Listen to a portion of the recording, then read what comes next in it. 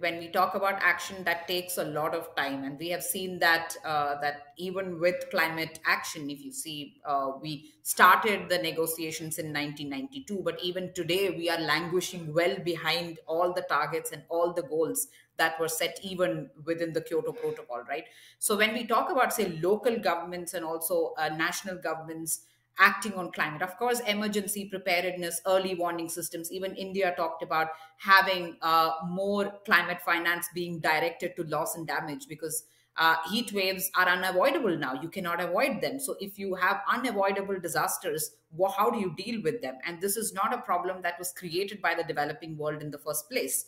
So, uh, obviously, the industrialized countries need to step in and start mitigating as urgently as possible. That needs to be the first step to actually put in place a certain amount of trust in the entire uh, policy arena of climate change for developing countries to follow suit. Because obviously, the developing countries also need to do something, right? So, adaptation plans are important.